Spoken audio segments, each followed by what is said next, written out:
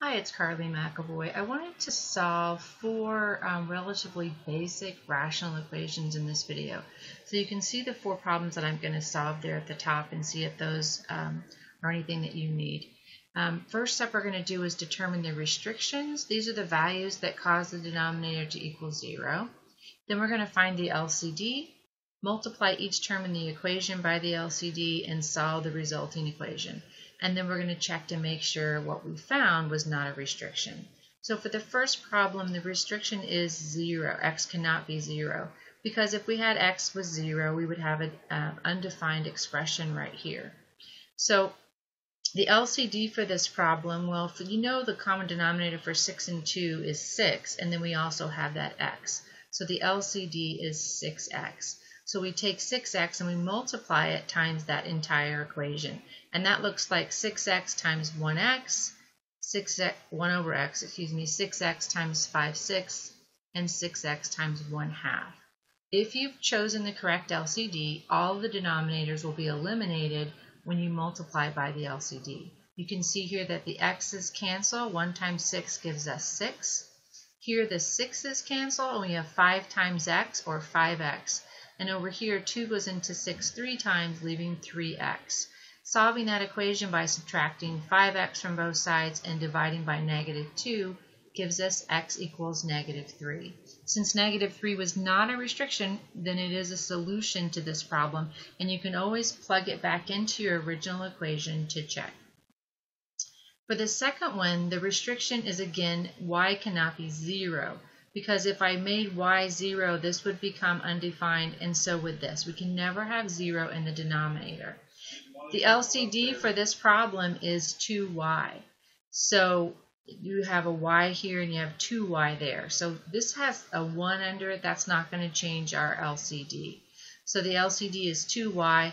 2y times the first, first term is times 4. 2y times 3 over 2y and 2y times 5 over y.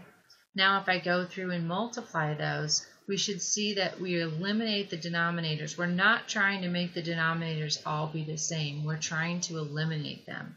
So 2y times 4 is 8y. The 2y's cancel and you get 3. And over here the y's cancel and 2 times 5 give you 10. Now we're going to subtract 3 minus 10 is negative 7. And then we divide both sides by 8 and that gives us y equals negative 7 eighths. Negative 7 eighths was not a restriction for this problem, so it is our solution, and you can plug it back into the original equation to check it. In the third one, we do not have a restriction because there's no variable in the denominator. 2, 5, and 5, there's no way those can become 0, so we don't have to worry about a restriction. And the LCD is a little easier in this one, it's just 10. You still have to multiply everything by 10, and 2 goes into 10 five times, so notice I had to take 5 times the entire numerator, n minus 2. Over here, 5 goes into 10 twice, so it's 2 times that numerator, n plus 5. And finally, over here, 5 goes into 10 twice, and 2 times 7 is 14. So I have uh, 5n plus 2n is 7n. The 10s cancel, and I get 7n equals 14. Divide both sides by 7, and you get n equals 2. And again, there was no restriction, so 2 was our solution. You can always plug that back in to check it. The last one looks easy because it has the same denominator, and it is easy. When you have the same denominator, you could just strike those off right away and just set your numerators equal to each other. But if you don't recognize them as the same or you don't do that, that's fine. The restriction for this problem is p cannot be 4 because you can see if p was 4, 4 minus 4 would be 0, and that would be undefined. So we are looking for anything that's not 4. So the denominator is p minus 4, because they are the same, and so I multiply both sides by p minus 4. That just cancels off that side, leaving 2p minus 1, and it cancels it off over here, leaving 7.